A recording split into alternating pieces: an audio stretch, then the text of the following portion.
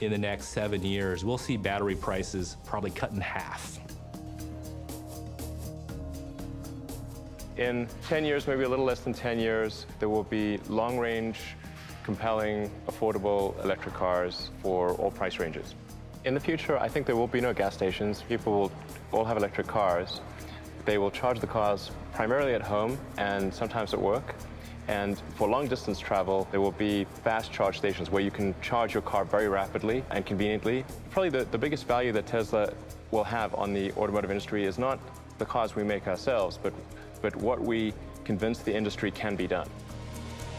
Despite the potential of EVs to be powered by renewable energy, most of today's electricity comes from natural gas, coal, and nuclear.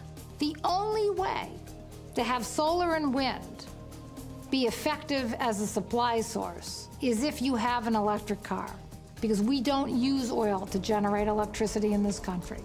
And right now in this country, we have 100 or 120,000 electric vehicles. And we have 250 million liquid fuel vehicles.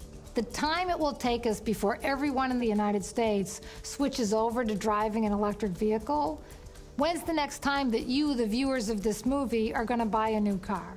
So when I describe the future of what's after the internal combustion engine, people say, how long will it take?